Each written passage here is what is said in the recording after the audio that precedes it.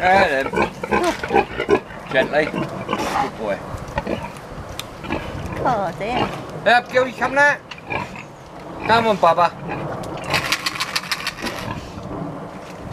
giờ cái bi ném thì mặc dù ra, Đi cũng bị sợ sợ. Kìa chưa